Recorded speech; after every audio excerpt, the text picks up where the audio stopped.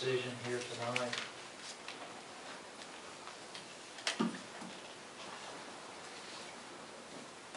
Not that I can think of right offhand, other than I built a life here. I plan on raising my son down here and putting him in the school system. I am willing and will do anything to improve, a better teacher. And you heard me several times refer to them as uh, his kids or my kids, because that's the way I, I treat them. They're like my kids, they're not my students, they're my kids, and that's the way I feel about them. Whenever, um, I didn't apply for this job, I was called by Mr. Sanders to come down and interview. And after, you know, going through several people, it did come down to me and I accepted. At that time, I had no money, my family scraped together two hundred dollars and sent me down. You know, I don't close down. I'm sorry, didn't mean to upset you. uh, Kleenex or? Uh, You need a Kleenex? Okay. Um,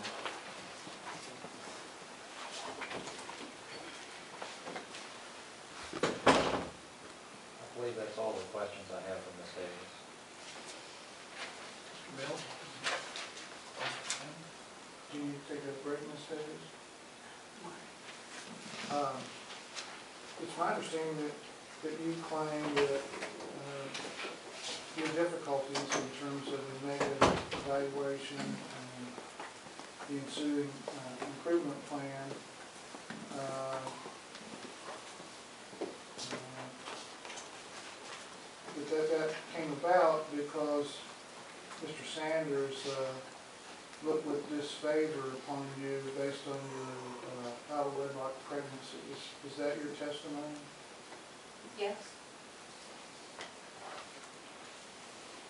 In looking at employee exhibit number three, um,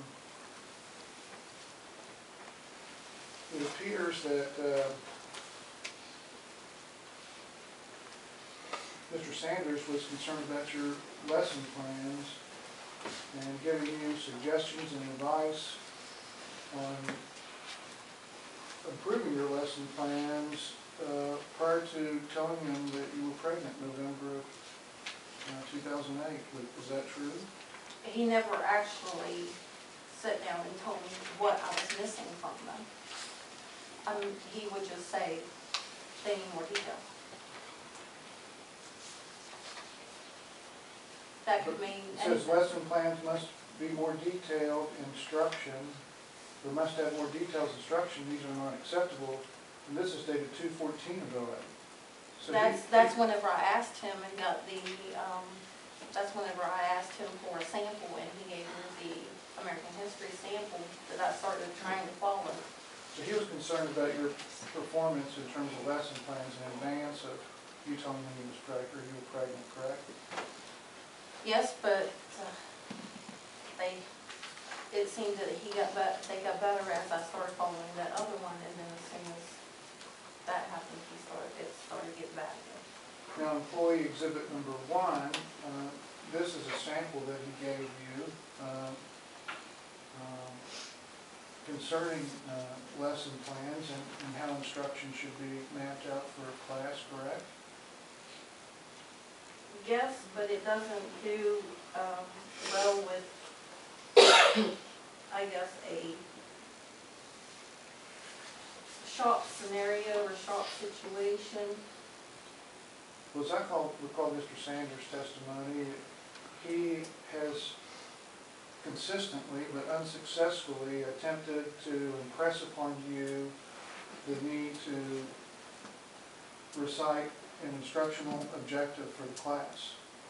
And I think it was your testimony that you never even knew about that until the improvement plan began. But here we look at Exhibit E1, and the very first item on this document is instructional objective, where you I never knew that I was supposed to recite them to the students.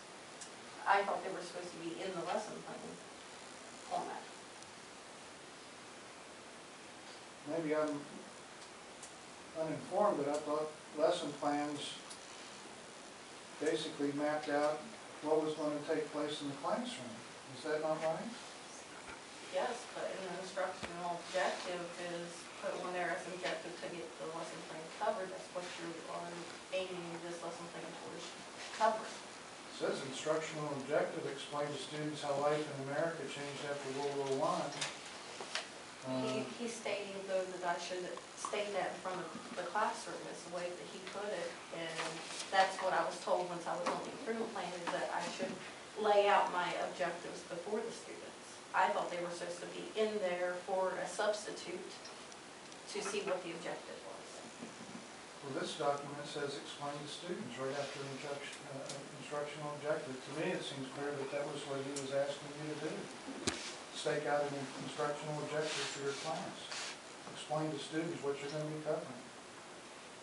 If you didn't understand that back in, uh, your first year, uh, of of teaching. Well, with the way that I was designed to do lesson plans in college.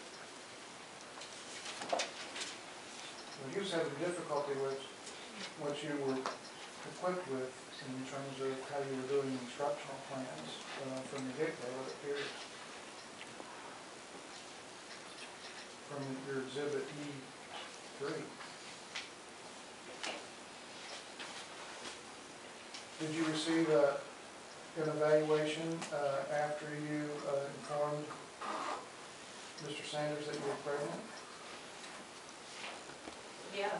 What was the first, eva- what was the date of the first evaluation you received after you notified him you were pregnant? November, Yeah, I apologize, I meant to offer that.